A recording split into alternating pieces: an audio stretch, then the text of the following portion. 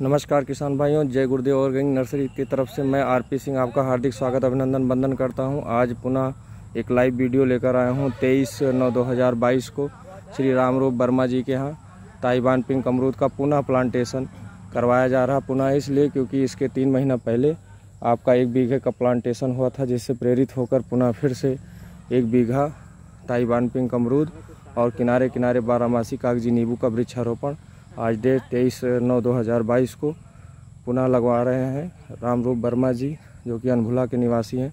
जय गुरुदेव organic nursery की तरफ़ से मैं आपका हार्दिक स्वागत, अभिनंदन, वंदन करता हूँ और स्वागत करता हूँ आपका हमारे channel R S green bio संस्थान में, जो कि जय गुरुदेव ऑर्गेनिक नर्सरी से रिलेटेड है। और आप लोग ताइवान पिंक अमरूद और बारामासी कागज़ी नींबू का वृक्षारोपण करवा के अधिक से अधिक लाभ पा सकते हैं।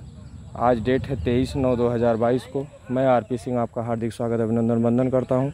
किसान भाइयों ताइवान पिंक अमरूद, जो कि कॉमर्शियल वैरायटी है, जिससे प्रेरित होकर पुनः आज के तीन महीना पहले श्री रामरूप वर्मा जी ने एक बीघे प्लांटेशन करवाया था ताइवान पिंक का और बारामासी कागज़ी नींबू का। उसी को फिर से पुनः प्रेरित होकर प्लांटेशन अच्छा था, इसलिए जो है पुनः जो है एक बीघा और उसी के आगे आप होटल के सामने पीछे एक बीघा और लगवा रहे हैं, प्लांटेशन करवा रहे हैं। यानी इनका दो बीघा करीब हो गया। तीन महीने पहले का जो लगा हुआ पौधा है, अभी मैं आपको इसी वीडियो में दिखाऊँगा।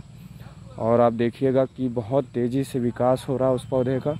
उसी से प्रेरणा लेकर आप पुनः ताइवान पिंक अमरूद और किनारे किनारे बारहमासी कागज़ी नींबू का वृक्षारोपण करवा रहे हैं। मैं अभी आपको जो इससे पहले प्लांटेशन हुआ है ताइवान पिंक अमरूद का, उसका वीडियो आपको दिखाऊँगा। और आप देखिएगा कि अभी तीन महीना पहले जो पौधा हमने ताइवान पिंक अमरूद का लगवाया था, वो कितना बढ़िया प्रोग्रेस कर रहा है कितने बढ़िया से चल रहा है, इसी को प्रेरणा स्रोत मानकर आप फिर पुनः एक बीघा प्लांटेशन करवा रहे हैं ताइवान पिंक अमरूद का। और मैं आपको बताना चाहता हूँ थोड़ा सा पर्सनली अनुभव कि ताइवान पिंक अमरूद जो कि कमर्शियल वैरायटी है, अंदर में लाल गुजा 300 से 400 ग्राम का फल होता है। अंदर में लाल गुजा होने के नाते बहुत ही मीठा, बहुत ही स्वादिष्ट होता है। जो आप पहले अपने अमरूद में स्वाद पाते थे देसी वैरायटी का, वो देसी वैरायटी का हाइब्रिड में क्लोनिंग पौधे में आपको मिलेगा। बहुत ही नहायत मीठा और अं-, अंदर में लाल होता है और बहुत ही सॉफ्ट होता है जिसकी वजह से इसकी डिमांड दिनों दिन बढ़ रही है। Commercial variety.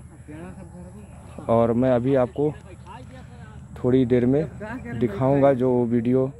इससे पहले हमने जो पौधा लगवाया था आपके यहाँ एक बीघा वो मैं अभी आपको दिखाता हूँ।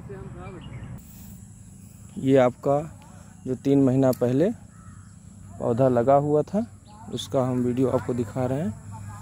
आ, अभी आपने देखा कि आपका प्लांटेशन आज तेईस नौ दो हज़ार बाईस को हो रहा है और आपका ये तीन महीना पहले जो अमरूद लगा हुआ था जिससे प्रेरणा स्रोत फिर से पुनः क्योंकि बड़ा अच्छा प्लांटेशन उनका चल रहा है बड़ा अच्छा ग्रोथ है अमरूद का जिसकी वजह से पुनः फिर एक बीघा आप लगवा रहे हैं।